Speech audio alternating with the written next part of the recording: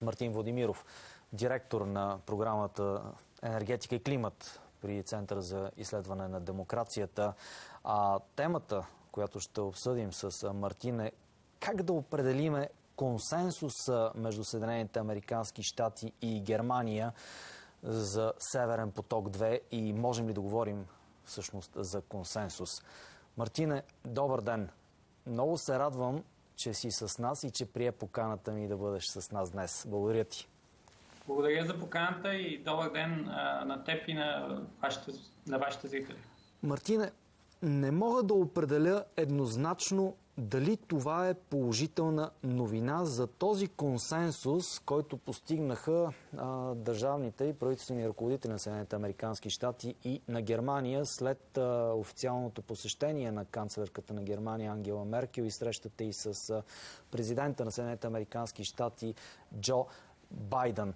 А, всъщност, можем ли да говорим за консенсус тук? И, и реално консенсус ли е това? По принцип, не мисля, че има промяна а, в принцип на, на принципно равнище в позицията на Съединените щати спрямо проекта Северен поток 2.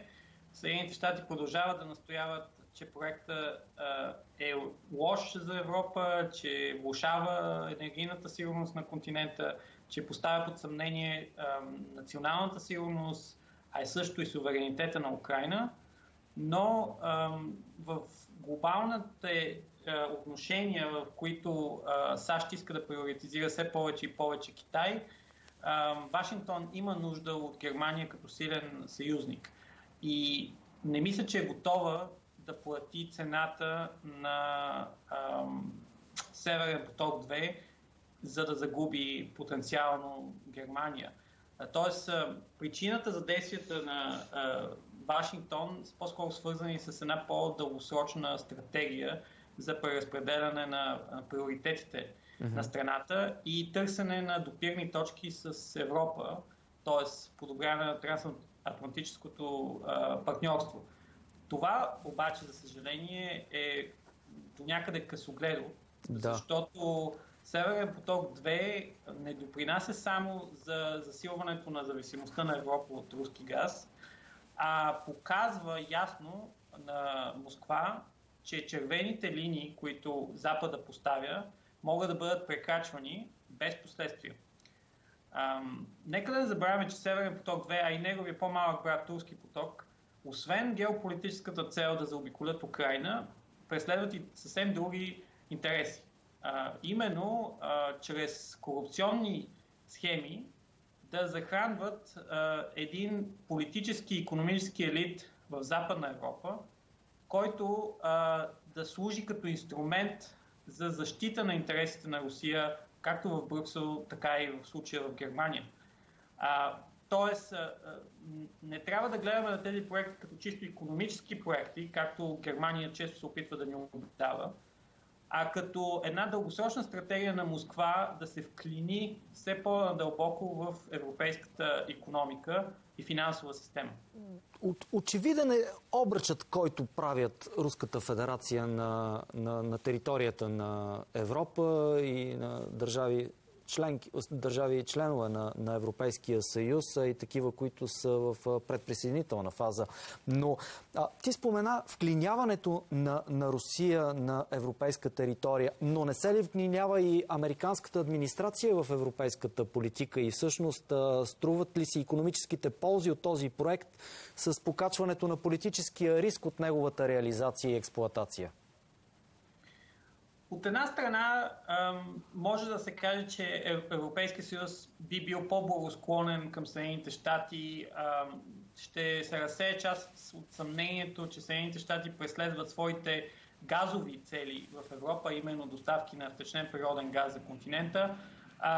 Това е всъщност една дългогодишна пропаганда, която и руски сили, но и местни медии в Европа разпространяваха, но, но кампанията беше толкова успешна, че накара а, дори високопоставени политици и бизнес лидери в Европа да повтарят мантрата а, САЩ не иска Северен поток, защото иска да продава втечнен газ.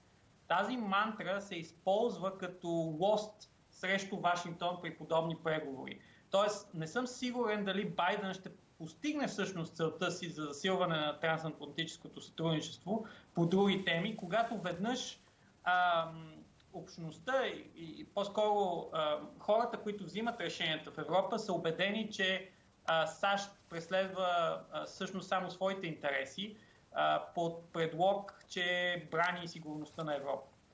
Истината е, че политиката на Съединените щати спрямо енергийната сигурност на Европа, което впрочем е неделима част от националната, политиката за национална сигурност на Съединените щати, е от край време, много преди двата проекта да, са, да, се, да започнат, е а, да се осигурят а, надежни доставки да. а, от най-различни доставчици на, на енергийни ресурси, така че да се намали зависимостта от един играч, който потенциално има а, съвсем други геополитически цели.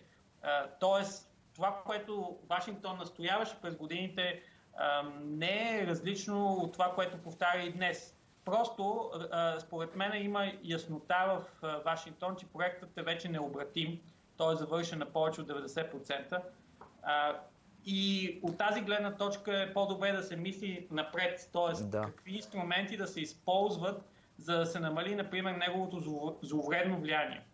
Като тук се обсъждат заедно с Европейската комисия механизми за намаляване използването на тръбопровода, така че Русия да се окаже длъжна да, да продължи транзита през Украина и през Беларус и така нататък.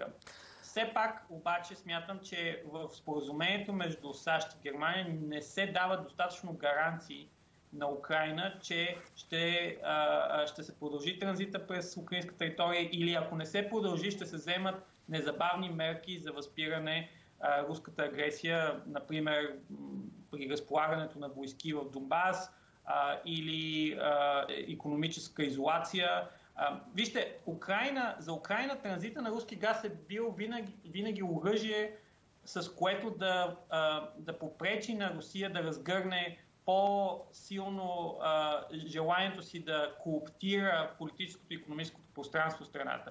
А, защото Украина винаги е държала този лост, потенциално да спре доставките на руски газ за, за Европа и по този начин да накара Русия а, да се усмири. А, Тоест, в момента загубата на това оръжие не може да бъде компенсирана с а, нали, обещаните 1 милиард долара инвестиции в ВЕИ технологии. Това са да. крайно недостатъчни средства за промяна на, на енергийната структура на, на, на Украина и изобщо модернизацията на економиката на страната. Добре, този консенсус всъщност решава ли съществуващ проблем или създава нови? Какво имам предвид? Защото от една страна Русия едва ли е много щастлива от обвързаните ангажименти, които пое Германия при този консенсус с Съединените Американски щати, т.е. някакво балансиране на Русия през Германия. От друга страна обаче пък Съединените Американски щати не предоставиха ли горещия картоф за легализирането на Северен поток 2 в ръцете на Европейската комисия, което крие риск за противопоставяне на Германия с Европейската комисия, което пък е лошо за общият дневен ред на политиката в Европейския съюз. От друга страна пък този консенсус не предполага ли и миниране на полето за двустранни взаимоотношения между страни членки на Европейския съюз, водени, например, от Полша и другите около обкръжението на Полша и друго противопоставяне с Германия. Не се ли създават нови неясни проблеми? Да, разбира се. Неяснотата ще спохожда всички енергийни отношения между Русия и Европа през следващото десетилетие. Това е ясно. А, това е единственото, което е ясно всъщност. Но бих казал, че в Москва празнуват в момента, защото споразумението очевидно е доста слабо, очевидно не дава конкретни гаранции и не набелязва конкретни стъпки за реакция при промяна на руската политика спрямо транзита в Украина. Нека да не забравяме, че Русия вече даде, така да се каже, даде сигнал, че ще започне да променя маршрутите за доставка на природен газ до Европа, като началото на лятото спря транзита през Украина, с което повиши значително цената на природния газ в Западна Европа, Ние го усетихме, впрочем, вторично и в България, тъй като цената на природния газ за България се формира на 70% от борсата TTF в Холандия. А, така че Русия вече показа, че може да използва монопола си върху транзита на практика на, на, на, на, на природен газ и голямата зависимост на Западна Европа от а, руски газ. И чрез пазарни за механизми. Да увеличи цената и за да притисне Украина допълнително. В период на политическа нестабилност и в период на обтягане на отношенията между Украина и Русия. Какво трябва да се случи, за да се удължи договора за пренос на газ през Украина? Да, исках и това да коментирам, понеже да споменахте, че Съединените щати прехвърлят горещи картоф в Европейската комисия. По принцип Европейската комисия е един от гарантите на споразумението между Русия и Украина за транзит до 2025 година, но когато той беше спрян юни месец, Европейската комисия не реагира. Тоест аз не виждам, не виждам как Европейска комисия може реално да се противопостави на, на, на действията на Русия и не виждам особени действия спрямо Германия. А, там, разбира се, Европейския съд може да има по-голяма роля, тъй като вървят дела срещу Северен поток 2 или по-скоро срещу тръбопроводите, които ще отвеждат природния газ в Северен поток 2 до пазарите, а именно тръбопровода ОПАЛ на, на, на германска територия. И виждаме, че Европейския съд е доста последователен в решенията си, че по-скоро а, а, става въпрос за нарушаване на третия либерализационен пакет и Газпром не може да използва напълно капацитета на тръбопроводите, които отвеждат природния газ от Северен поток 2. Това е правна сага, която ще продължи още години, според мен. Mm-hmm. А, но очевидно е, че а, влизаме в хипотезата, че а, а, 2022 година няма да има реални фактически пречки пред това Русия да изнася 55 милиарда кубични метра повече газ за Европа и по този начин да наводни а, вече така или иначе доста ликвидните борси а, на газ в Германия и Холандия и Белгия, а с това да открадне до голяма степен дела на, на альтернативните доставчици. Тоест, Северен поток 2 има много по-широки последствия за да. структурата на, на, на газовите пазари в Европа. На практика тръбопровода намалява възможността а, диверсификационни проекти да са економически изгодни което от своя страна води а, до а, необходимостта клиентите на природен газ в Европа да поискат все по-големи количества от Русия, защото виждат, че Русия е единствения доставчик на природен газ, който може надежно да достави огромни количества газ на предвидима цена. Това, е, това беше дългосрочна стратегия на Русия. Да. А, и ефекта от това е повишение на цените. И, и смятам, че през следващите години, когато природният газ добива все по-голяма важност в енергийния микс на Европа, предвид, разбира се, прехода към възобновяеми технологии.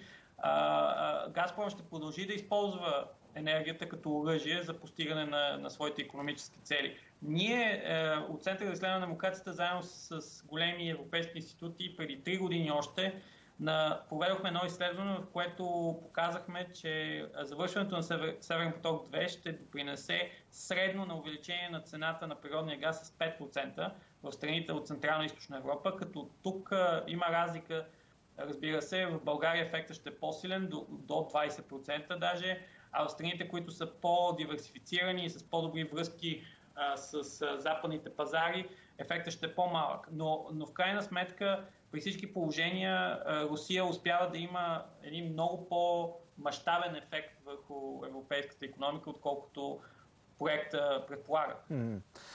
А, съвсем накратко, Украина ще остане ли транс... пренос на страна на руски газ? Мисля, че за да не как да кажа, за да не дразнят Европейската комисия и Съединените щати, Русия ще се опитва максимално да се придържат към споразумението а, за транзит на руски газ през Украина до 2024 година. Така или иначе, те в момента не могат да използват напълно а, а, и първата линия на Северен поток и втората, така че са зависими. Зимните, зимните месеци няма да имат избор, ще трябва да пренасят през Украина. Но постепенно транзита ще бъде изключван, а, а това носи финансови вреди на Украина в милиарди. А, по наши изчисления, между 3 и 4% от брутния вътрешен продукт на Украина ще бъде застрашен от а, намаляването на транзита през страната. Откъде текат сега газовите потоци в Европа? Защото тази мантра за разнообразяване на, на доставчиците, просто имам чувство, че е тръсна на, на всички. И, и как ще се променя и как ще се променят тези потоци? Защото виждаме усилия в най-различни посоки. Дали ще дадат резултат обаче?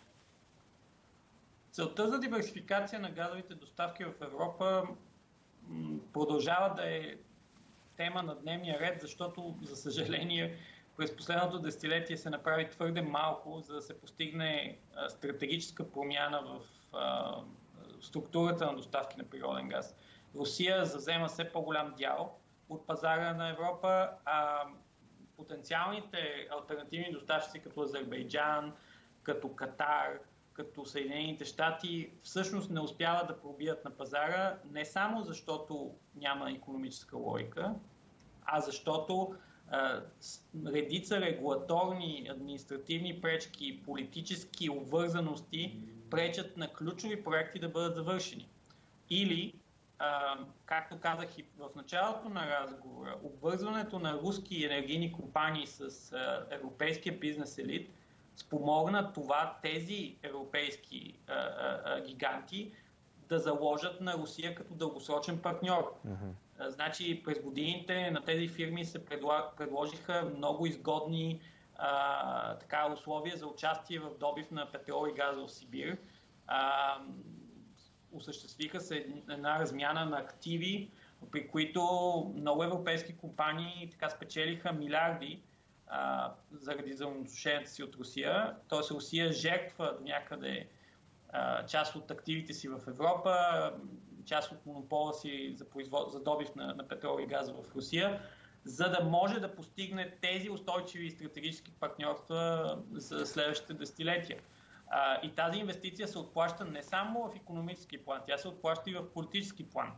В нашия доклад Кремлския наръчник 2, mm-hmm. където говорим за Австрия, Италия и Холандия, коментираме много пряко как тези големи енергийни компании, а не само енергийни, впрочем, фармацевтични, индустриални гиганти и така нататък, директно лобират пред своите национални правителства за по-добри отношения с Русия.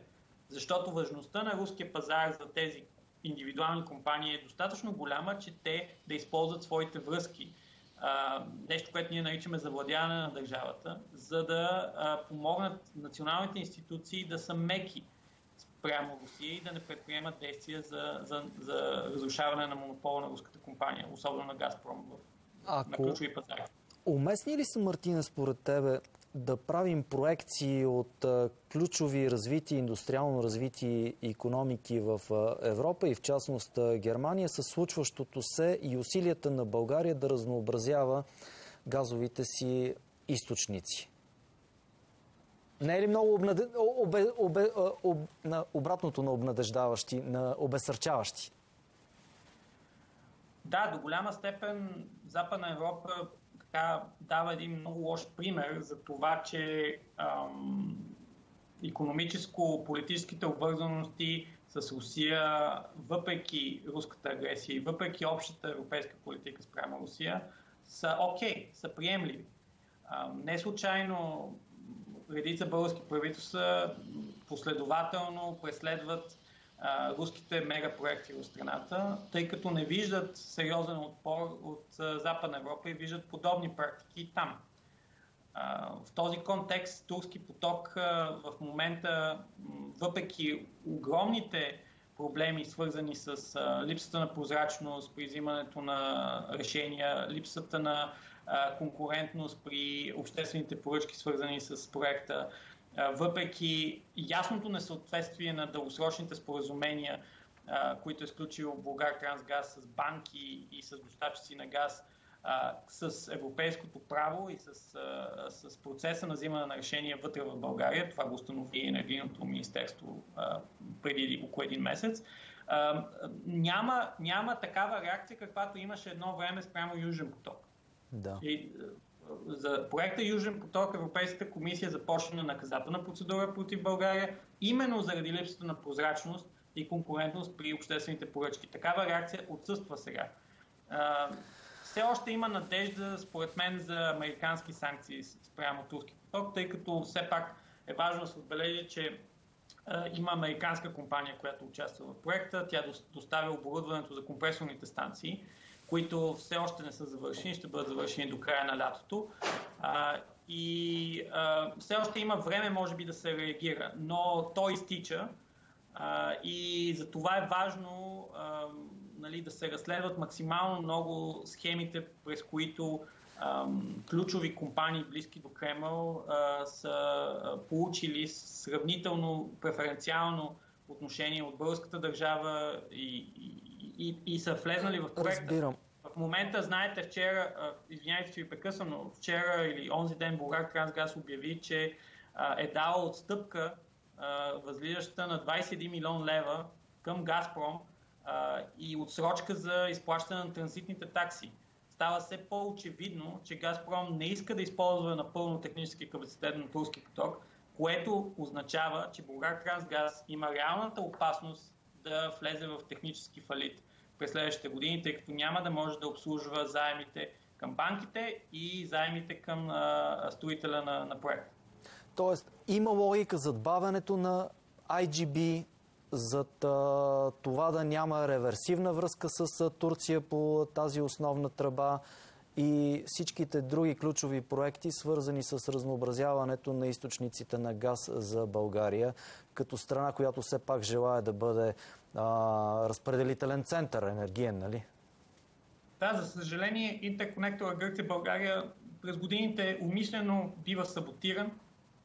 А, всъщност, още от началото си проектът е структуриран по такъв начин, че да има а, големи пречки пред економическата обосновка на, на, на проекта, така че той да е комерциално изгоден. А, до... А ще видим ли реверсивна връзка с Турция? Ще видим ли реверсията с Турция? Българ Трансгаз и българското правителство не са направили нищо за, за активиране на диалога с Турция и осъществяване на такава реверсивна връзка. Тя, разбира се, е абсолютно необходима в контекста на внос, потенциален внос на втечнен природен газ от да. пристанищата в, на, на Егейско море. Много Разбира благодаря. Това е, това е необходимост, но вижте, ние, ние в България до сега не сме видяли правителство, което да поеме последователна, дългосрочна политика за диверсификация, която взима под предвид строителството на ключови интерконектори, разширение на газохранилището в Чирен, либерализация пълна на, на пазара и освобождаване на трансграничните капацитети от монопола на Газпром.